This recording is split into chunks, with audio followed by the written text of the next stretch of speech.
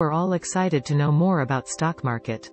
For today's video we were going to tackle about a book review about stock market. This book review is all about Reminiscences of a Stock Operator by Edwin Lefevre. These are the key takeaways from this book. First published in 1923, Reminiscences of a Stock Operator, is the most widely read, highly recommended investment book ever. Generations of readers have found that it has more to teach them about markets and people than years of experience. This is a timeless tale that will enrich your life, and your portfolio. There is nothing new on Wall Street. There can't be because speculation is as old as the hills. Whatever happens in the stock market today has happened before and will happen again. It takes a man a long time to learn all the lessons from all his mistakes. They say there are two sides to everything. But there is only one side to the stock market, not the bull or bear sides, but the right side. If the unusual never happened, there would be no difference in people, and there wouldn't be any fun in life. The game would become merely a matter of addition and subtraction. It would make of us a race of bookkeepers with plotting minds. There is nothing like losing all you have in the world to teach you what not to do. And when you know what not to do to lose money, you begin to learn what to do to win.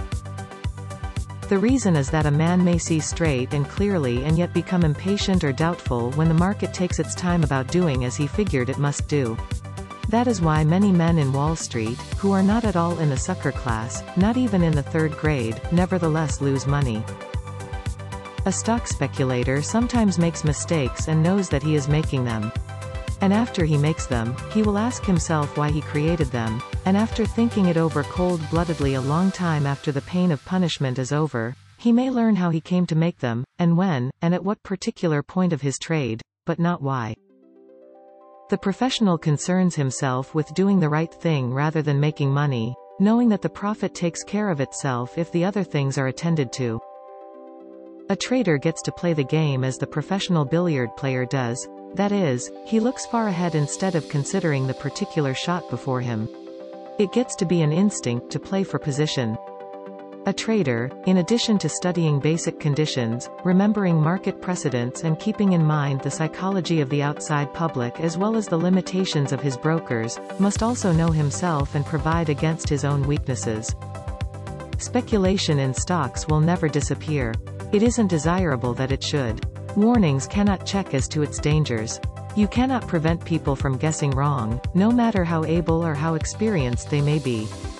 But today, and, and as trading in everything, almost every industry in the world is represented. It requires more time and works to keep posted, and to that extent, stock speculation has become much more difficult for those who operate intelligently. The last one is the only way to get a stock price to increase is for people to buy it. The only way to move it down is for people to sell it.